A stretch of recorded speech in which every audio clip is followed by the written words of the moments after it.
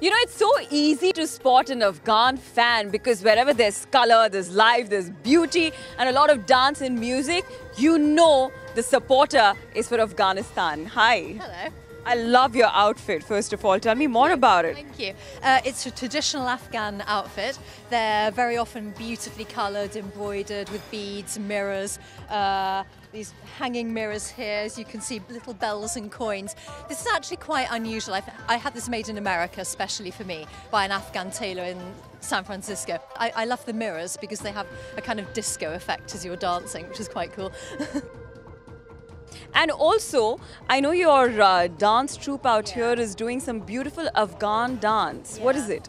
Well, I'm performing here um, with a group called Rubab Sounds, an acoustic music group, um, and I'm doing three performances today of traditional Afghan dance. And what is the dance called? Well, the dance style I do is called known as must. It's it's fast, lively, fun. It's what you might dance at a wedding. I perform at lots of weddings, so it's quite it's quite in demand. It's a lively sort of party dance. And there's I've been to this is the third cricket match I've been to for this tournament. I've been to Taunton and Bristol. The people love to dance, and they've got the most amazing popular music and beautiful costumes.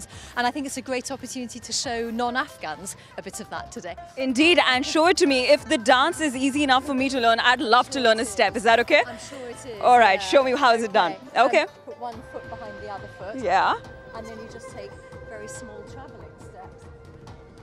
yeah. Okay. And then what do you do with the hand? Okay. Well,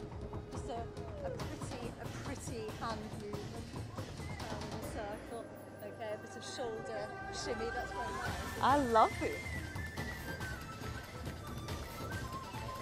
Oh, nice. I like it.